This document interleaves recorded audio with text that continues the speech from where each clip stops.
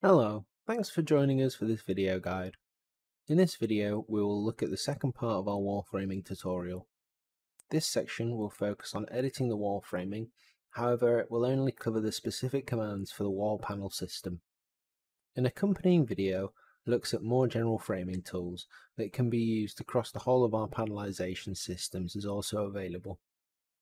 Our software has a wide variety of framing accessories, with their availability being customization dependent. These are accessed from the wall panel menu in the modeling tab and framing accessories. Bracing, for instance, is added by double clicking the bracing type you want and then selecting the panel. You are then prompted to select your first point, which will always be the lower point, and then up to the high second point.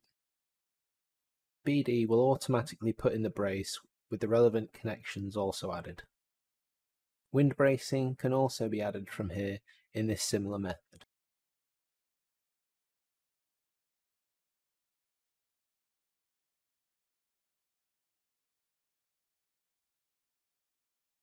A truss lintel type can also be added. Again, double click and the parameters will show.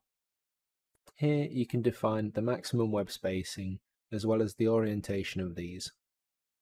Click OK, then choose the panel and now just click in the space where you would like to add the lintel to and it is then added with connections. Finally, extra profiles including back studs and blocking can be added from the studs folder. As an example, I will use blocking, but the others are added in a similar way. First, double click the thumbnail and select the panel. The system will automatically select the profile type, however this can easily be changed by utilizing the select button. You can then define placement, however with the profile going into a panel, it's best to keep it as middle. Opening just controls which side the web is on, and there is a toggle option to automatically add connections. Press OK and then simply draw a line for the piece to be added. Connections can then be added from beams and columns if applicable.